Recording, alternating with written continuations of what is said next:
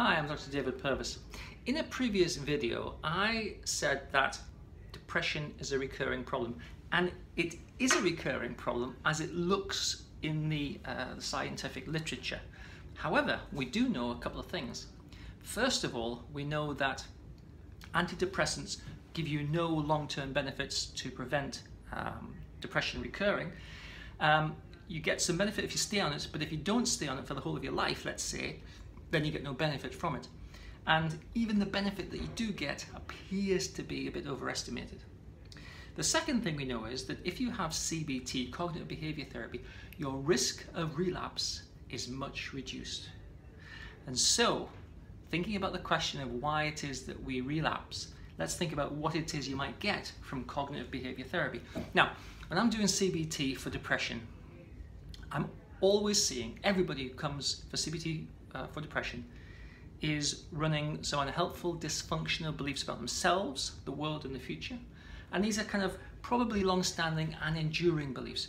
But we challenge them through a process of therapy, and as people change their beliefs about themselves, they start to feel a relief and they start to feel benefit.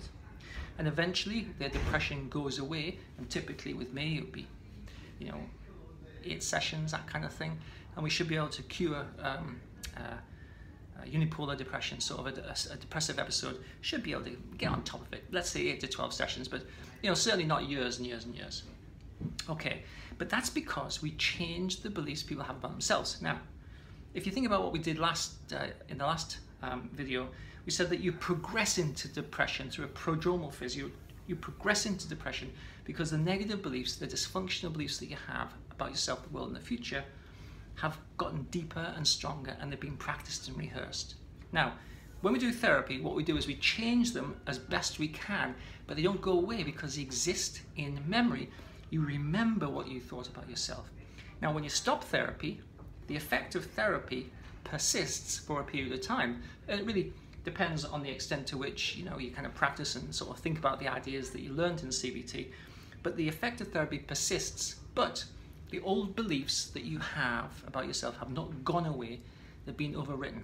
So, if you find yourself in stressful situations that kind of trigger and evoke these previous old beliefs about yourself, that can cause a relapse problem. Also, depending on how long you've had these dysfunctional beliefs about yourself, and you could have had them principally for you know most of your life, um, they have uh, an established memory and neural network, and that's called the scar hypothesis. You remember how bad you felt, and it kind of makes a sort of a psychological scar. And something happens uh, in your life that could just like pick the top of that scar, and it makes it you know bleed again, and then it brings you back into depression.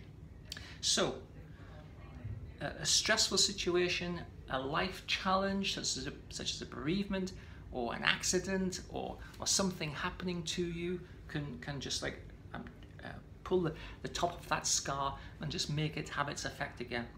Now, doesn't make the dysfunctional beliefs you have about yourself true, but it means that the emotional distress you feel about remembering them is increased, and that then can be sufficient to push you back into depression. So, just to recap, in this video I've talked about um, the power of dysfunctional beliefs that you have about yourself, the world, and your future, and also that in CBT we can't completely eradicate them, but we overwrite them.